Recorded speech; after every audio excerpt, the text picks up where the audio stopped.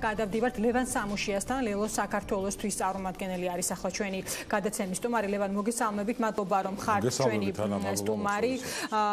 გვაქვს ბუნებრივია სხვა კითხვებიც, მაგრამ აი მოკლედ მინდა კითხოთ არჩილ მოკლედ პასუხს დაველოდოთ თქვენ განუფრესწორად არჩილ თალაკვაძის ინიციატივასთან დაკავშირებით იმის შესახებ, რომ უნდა მოხდეს ერთობლივი ცვლილებები საარჩევნო კოდექსში და ასევე სისხლის სამართლის კოდექსში კანონმდებლობის გამკაცრებასთან დაკავშირებით. აი თქვენ რა დაინახეთ ამის მიღმა?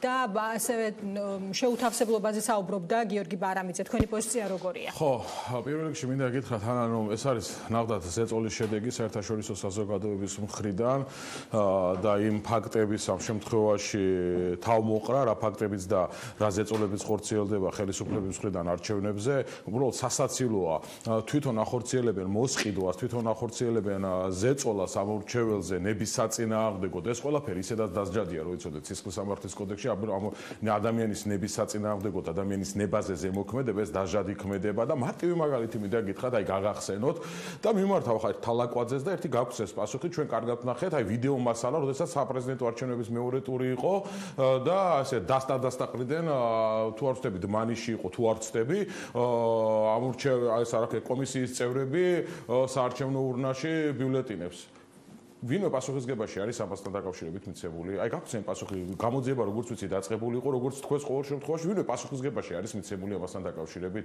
ქართული ოცნება პირდაპირ შემჩნეული არის, არათუ შემჩნეული არის, დადასტურებულია რიგი ფაქტები, როგორ ხდება ამონცეურებზე ზეწოლა, როგორ იყენებენ ადმინისტრაციულ რესურსს როგორ ემუქრებიან ხალხს სამსახურიდან განთავისუფლებით, აქედან გამომდინარე, ეს არის რაღაცა ნაცრი შეყნა თვალებში ამორჩი საქართველოს. ან თქვენ ამბობთ, რომ ყველანაირი ბერკეტების როგორც პასუხისგებლობის მექანიზმები არის ქართულ ოცნებაში, თუმცა აქამდე ჩატარებულ არჩევნებზე ჩვენ ვერ დავინახეთ პოლიტიკური ნება იმის არათუ პოლიტიკური ნება მსგავსი ფაქტები არ მომხდარიყო რომელიც დღეს არ შეთანხმებაზე ჩამოთვალა. ამ შემთხვევაში არათუ პოლიტიკური ნება ანა?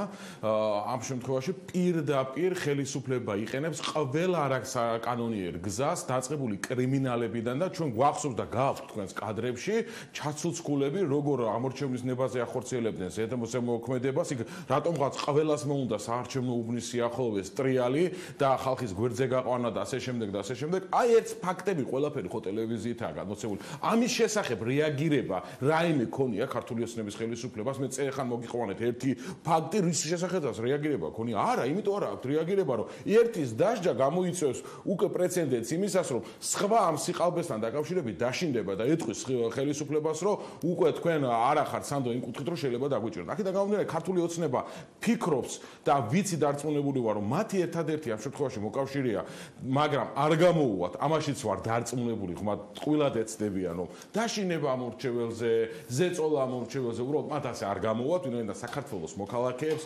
გამოტანილი აქვთ განაჩენი და გამოის განაჩენი არის შვიდობიანად ქართული მადლობა ლევან ასევე მინდა დაგისვა კითხვა გახმაურებულ საქმეებთან დაკავშირებით აი დღეს ბუთხარით მაყურებელს რომ 40 დღე გავიდა თამარ ბაჩალიაშვილის გარდაცვალებიდან ასევე ორ თვეზე მეტია საუბრობთ გიორგი შაქარაშვილის უმძიმე საქმესთან დაკავშირებით ახალი ფაქტებიც ხდება და ყველა მათგანი ჩვენ კიდევ ერთხელ გვაფიქრებს იმის შესახებ რომ რაღაც შესაძლებელია ამ ქვეყანაში და ამ ეს რეალობა უკვე წარმოუდგენელია ხო? აი ყველა ახალი დღე ამ საქმეებთან დაკავშირებით ახალი კრიმინალური ფაქტები რაზე მიუთითებს ლევან? მოკლედ ვიპასუხეთ და უნდა დაგემშვიდობოთ აი ძალიან მოკლედ გეტყვით დაჭაობებულ ადგილას ხო ჭაობის ბინადრები ძალიან კარგად გზნობენ თავს.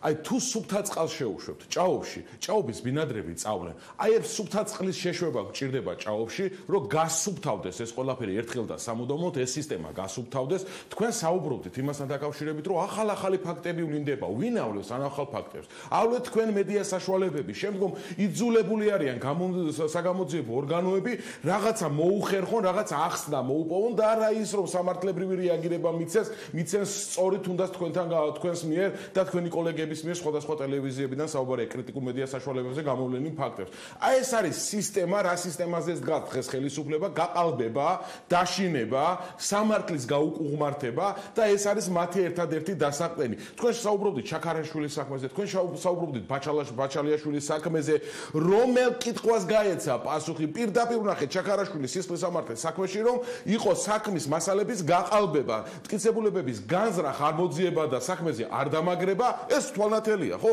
ან თუნდაც რა ხდება ბაჩალიაშვილის საქმეში, ამ გაუბედურებულ ადამიანებს ასუშვებიან, აი ატყუებენ და ცდილობენ რომ დრო გაწელონ და არის რიგი მტკიცებულებები, რასაც მიზანმიმართულად არიკრობენ ორივე სისხლის სამართლის საქმეში და ხელისუფლების პასუხი რა არის? მათთვის მათთვის მთავარია ამ შემთხვევაში ის გაუკუღმართებული სამართალი და სამართლი ამ გაუკუღმართებული სამართლის მსახურნი თავიდან ბოლომდე დაიცვა, ვინაიდან ამ პირამიდის ძირშიც თვითონ არიან და მართველები ამ ყველაფრის თვითონ არიან. მადლობა ლევან, მადლობა რომ იყავით ჩვენი სტუმარი, ეს ხო ლევან სამუშია, მოძრაობა ლელო საქართველოსთვის წარმომადგენელი